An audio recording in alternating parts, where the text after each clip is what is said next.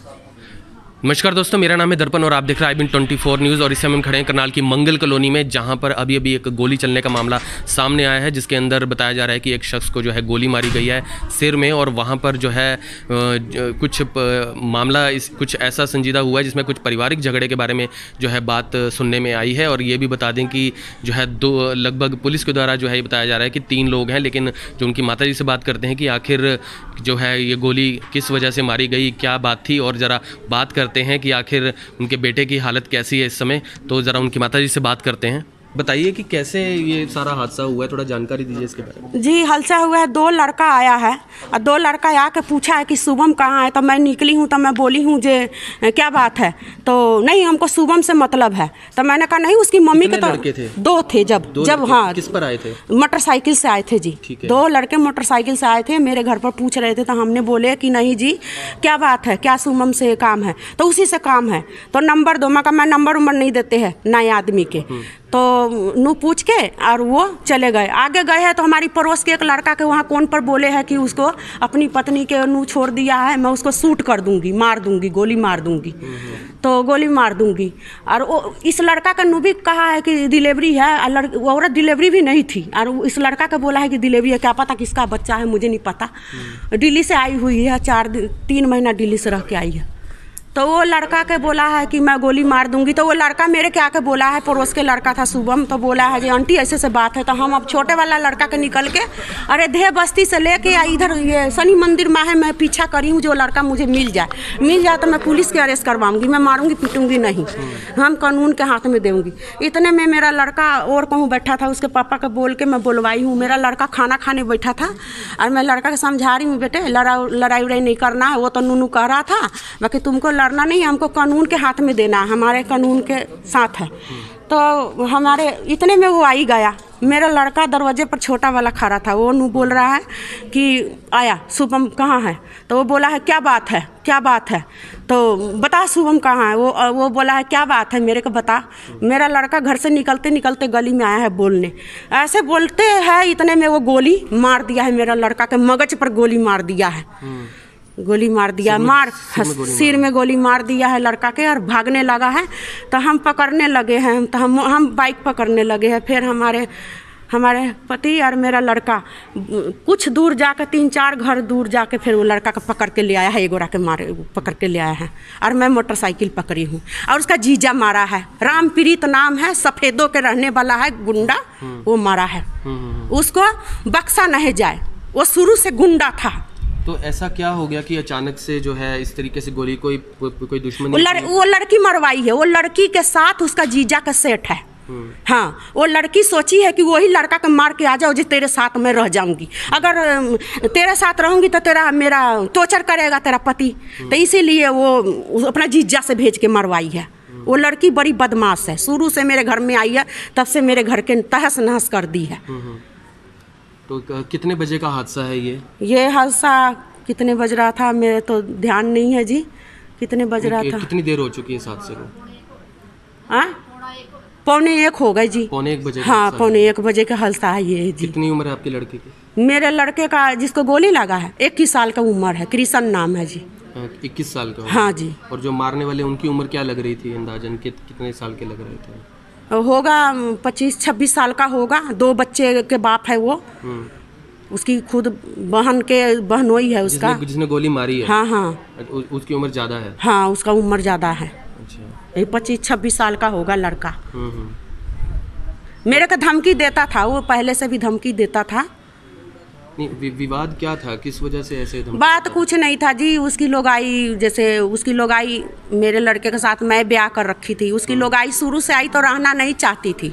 कहती थी मैं अपने जीजा के घर रहूँगी जीजा के घर रहूँगी। जो लड़का आपका इक्कीस साल का इस, इसी की बात कर रहे हैं आप? जिसके साथ शादी हुई या और लड़का है आपका कोई? नहीं ये जो लड़का के साथ शादी करी वो सफेदो जाने के चाहती थी अपने पति के लगन ना रहना चाहती थी। अच्छा। वो कहती थी मैं जीजा के घर जाऊँगी। ठीक है। हाँ उसके माँ बाप भी कहता था भेज दो उसके जीजा के घर। उसके माँ बाप भी कभी नहीं है हमारे हमारे घर आए। हम्म। हाँ ना हमने इतनी हमने इतनी खर्चा करी थी शादी में ना उससे कोई मांग करी ना कुछ। मैं बेटी बना कर ले आई थी।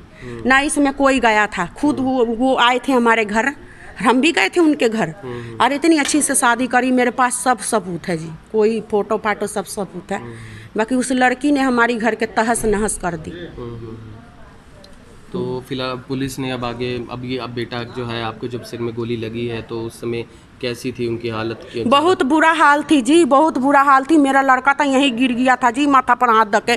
मैं तो डर गई थी कि मेरा लड़का के आँख न फूट गया।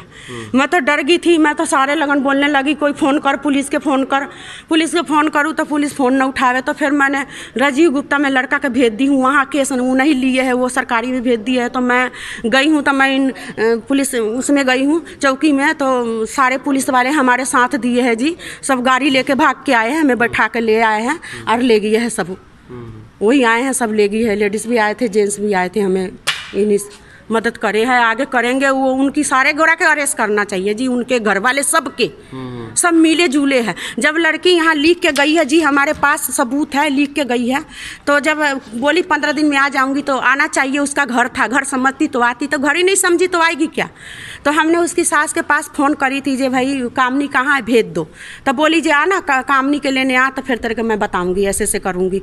तो मेरे बेटे ने बोला मम्मी रहने दो अपने आ जाएगी कोई बात नहीं लड़ाई झगड़ा नहीं करना है। तो हमने भी शांति माहौल में रहना है, शांति से। हमें क्या पता कि वो ऐसी माँ है कि गुंडा पाल रखी है, शुरू से गुंडा पाल रखी है बेटे के। तो यहाँ पर जो है, आपने देखा किस तरीके से हम खड़े हैं। हम मंगल कॉलोनी में गली नंबर एक में, जहाँ पर जो गोली चलने की बात सामने है और ये बताया जा रहा है कि शख्स के सिर में गोली मारी गई है और जो उसकी हालत भी है, उनको बताया कि यहीं पर गिरे हैं और आपको हम तस्वीरों में ज़्यादा नहीं दिखा सकते, लेकिन खून के छीटें यहाँ पर हमें दिख रहे हैं और यहाँ पर अभी अभी जो पुलिस तफ्तीश कर रही थी, यहाँ पर जो है, गोली भी यहाँ पर जो है गिरी हुई पाई गई और यहाँ पर अभी जो पुलिस को द्वारा भी देखी जा रही थी, तफ्तीश की जा रही थी और फ़िलहाल जो है यहाँ पर पुलिस प्रशासन के लोग भी जो हैं यहाँ पर सिक्योरिटी के लिए मौजूद हैं उनके घर के बाहर ताकि किसी तरह की और कोई वारदात है उसको अंजाम ना दिया जा सके। लेकिन फ़िलहाल इस तरह के जो मामले हैं, वो सामने आते रहते हैं और कुछ रंजिश का मामला ही इसके अंदर दिखाया जा रहा है। पारिवारिक झगड़े से लेकर यहाँ मामला दिखाई दे रहा है और इसमें दो शख्स आते हैं और इस तरीके से यहाँ पर गोली जो है अभी बताई जा रही है, उन्होंने चला दी और जो सिर में गोली मारी गई है। अब आगे पुलिस प्रशासन जो है उनसे भी जो है, हमने जो है अभी आगे बात करेंगे और उनसे जानेंगे कि आखिर उनका इस बारे में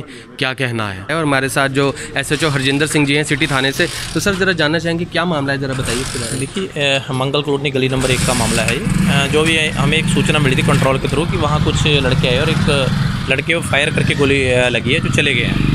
क्योंकि हम तुरंत प्रभाव से मौका पर आए और वो लड़कों में से तीन लड़के थे जिनको में से एक लड़के को हमने काबू कर लिया और उसकी बाइक भी पकड़ी जिस बाइक पर आए बाकी दो लड़के फरार हैं। अभी इनकी प्रीमियरी पूछताछ कर रहे हैं लड़के को हॉस्पिटल ले गए। अभी उसका हालचाल जानते हैं जैसा भी कार्रवाई होगी मुकदमा दर्ज करेगी गोली मारने वाले तीन लड़के थे? गोली मारने वाले तीन लड़के थे।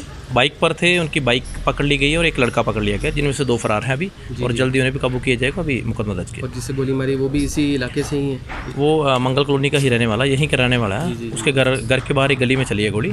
बट उसको अभी हॉस्पिटल लेके अभी उसका क्या हाल चला अभी मैं मौके पर जा रहा हूँ हॉस्पिटल जा रहा हूँ जो भी हाल होगा। जी जी जी। फ़िलहाल जो है तफ्तीश में भी यही चीज़ सामने आई कोई कारण से समझ में आया कुछ पता चला? बिल्कुल अभी देखिए प्रीमियरी पूछताछ अभी होगी लड़के से पूछताछ करेंगे अभी कुछ भी नहीं है वो हॉस्पिटल है। सबसे प्रीमियरी तो लड़के को करना है उसको संभालना है। हॉस्पिटल जा रहे हैं हम उसको संभालते हैं उसके बाद स्टेटमेंट लेके जो भी हो कार्रवाई करेंगे। हाँ, उम्र कितनी लग रही है लड़कों उम्र करीब 21 साल जिस लड़के गोली लगी उसकी उम्र 21 साल है। बाकियों का अभी कुछ भी पता नहीं अभी? बाकी दो लड़कों का पता नहीं चल पाया। हाँ दो लड़कों की अभी पूछताछ जारी है।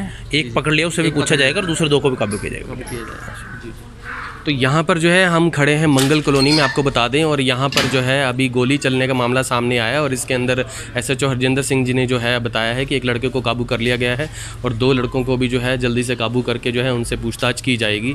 और आए दिन आपको बता दें, इस तरह के लड़ाई झगड़े के मामले सामने आते रहते हैं, और यहाँ पर जो है इस तरीके की जो गुंडागर्दी के मामले हैं, वो काफ़ी देखने को मिलते हैं गाँव में भी, लेकिन शहरों में भी जो है इस तरह के मामले काफ़ी ज़्यादा देखने को मिले हैं। जो उम्र बताई जा रही है, वो 21 साल बताई जा रही है, जिस लड़के को का, काबू किया गया है लेकिन बाकी जो दो लड़के हैं उनके बारे में भी जो है अभी आगे जानकारी वो लेंगे लेकिन अभी जिससे गोली लगी थी लड़के को उनको जो है आगे अस्पताल पहुँचा दिया गया है।